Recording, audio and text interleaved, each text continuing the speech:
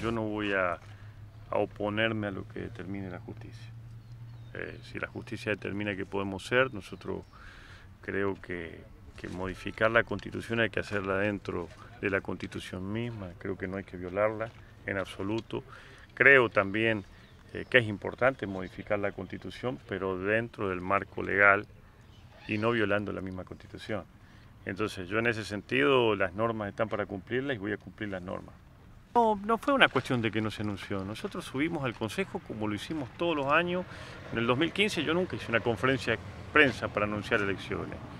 Nosotros necesitábamos entrar el decreto llamadas elecciones porque dentro del sistema de las elecciones eh, mm, necesitan partidas presupuestarias y el presupuesto se trata dentro de poco tiempo.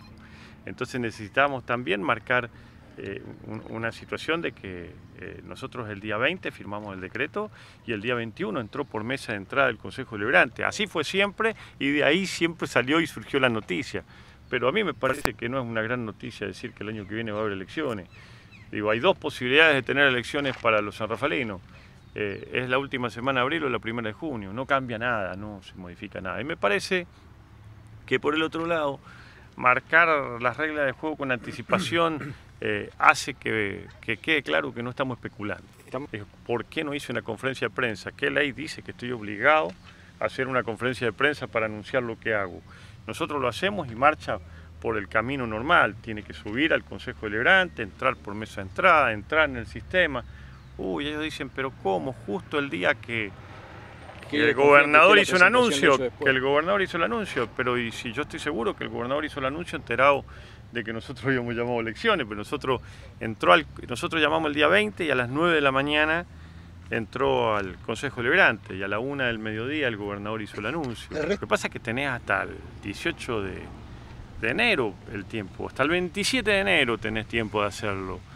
Eh, pero ¿por qué quedarme con la especulación de que no saben qué voy a hacer, si voy a llamar un día, si voy a llamar el otro? Yo creo que las reglas claras son mucho mejor para el sistema democrático y establecerlas con tiempo me parece que es importante para todos aquellos que quieran competir, saber qué fecha tienen.